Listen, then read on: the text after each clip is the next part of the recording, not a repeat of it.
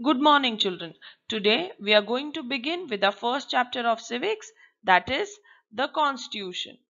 And in this chapter we will learn about what is constitution, the role of constitution and the importance of constitution. What is constitution? A big question in our mind children. In case I ask you ki constitution hota kya hai, you might also be confused to give me a definition. Before I tell you a definition, let me narrate you a story. It is the story of the favorite sport that is cricket and the title of the story is Rules of Empire.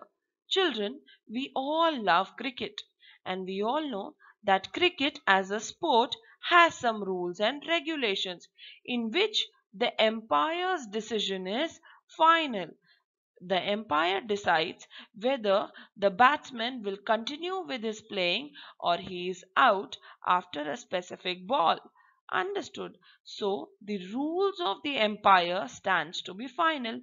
Imagine cricket के अंदर अगर empire होता ही नहीं तो क्या होता there would be lot of confusion the players would have fight between them that whether the one player is out or not that is why the empire's decision is considered as final और जब भी empire decision लेता है तो he follows some certain rules and regulations of the cricket as a sport.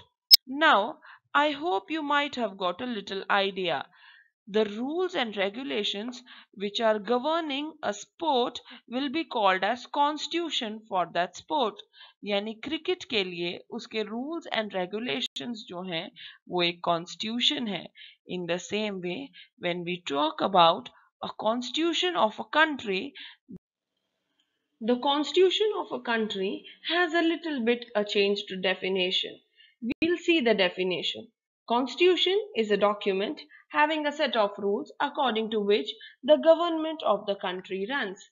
That means that हमारी country कुछ rules को follow करती है, जो हमारे कॉन्स्टिट्यूशन में लिखे हैं, और ये जो सारे रूल्स हैं, ये गवर्नमेंट फॉलो करके हमारी कंट्री को रन करती है. That means that document in which all the rules are written is called as constitution okay now children there is a quiz for you. now, do you know what is the constitution of the school called as? The constitution of the school is called as school diary. Why the school diary is considered as the constitution of a school? Because all the rules and regulations regarding the school are mentioned in the school diary and we follow it diligently. Okay? Now, we understood the definition of constitution. Let us move ahead with the role and importance of constitution. The first role and the importance of the constitution includes that it lays down the ideals. अब ideals क्या होते हैं children? They are certain principles or certain policies which were framed by the freedom fighters who played a very important role in the freedom struggle of a country. Now these ideals are included in the constitution. अब we all know that constitution is a very detailed document now to give an idea that what does a constitution contain we have a first page of a constitution which is called as preamble. That means preamble is also called as preface of constitution. Before reading the constitution if we read the preamble we will get an idea that what are the different ideals or the principles that the constitution contains and that the country will follow. That means the preamble mentions all the ideals which are being followed by a country which are written in their constitution. I will show you a sample preamble of Indian Constitution. See, this is the sample preamble of Indian Constitution. And all the bold letters which are written in this are considered as the ideals of Indian Constitution like sovereign, socialist, secular, democratic, republic. The word justice, liberty, equality, fraternity, are all considered as the ideals of Indian constitution. I hope this point is clear. Moving, moving on with the next importance of constitution.